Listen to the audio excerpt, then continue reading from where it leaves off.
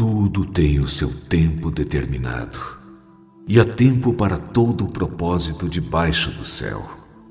E, se alguém prevalecer contra um, os dois lhe resistirão. E o cordão de três dobras não se quebra tão depressa. Guarda o teu pé quando entrares na casa de Deus, porque chegar-se para ouvir é melhor do que oferecer sacrifícios de tolos pois não sabem que fazem mal. Não te precipites com a tua boca, nem o teu coração se apresse a pronunciar palavra alguma diante de Deus.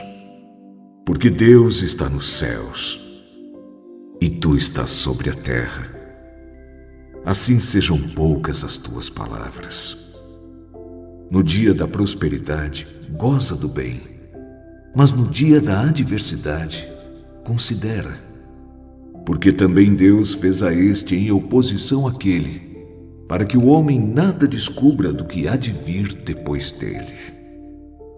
Eis aqui o que tão somente achei: que Deus fez ao homem reto, porém eles buscaram muitas astúcias. Ainda que o pecador faça o mal cem vezes e os dias se lhe prolonguem, contudo eu sei com certeza que bem sucede aos que temem a Deus, aos que temem diante dele. Porém, o ímpio não irá bem, e ele não prolongará os seus dias, que são como a sombra, porque ele não teme diante de Deus.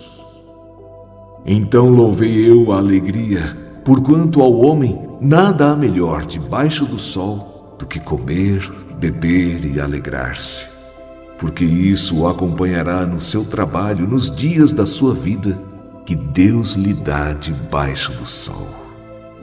Então vi toda a obra de Deus que o homem não pode perceber, a obra que se faz debaixo do sol.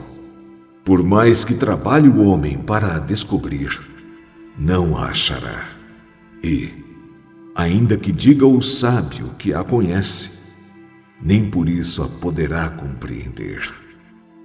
Alegra-te, jovem, na tua mocidade, e recreie-se o teu coração nos dias da tua mocidade, e anda pelos caminhos do teu coração e pela vista dos teus olhos.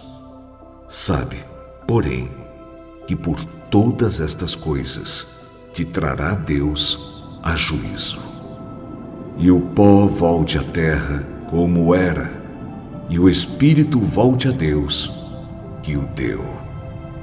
De tudo o que se tem ouvido, o fim é: teme a Deus e guarda os seus mandamentos, porque isto é o dever de todo homem.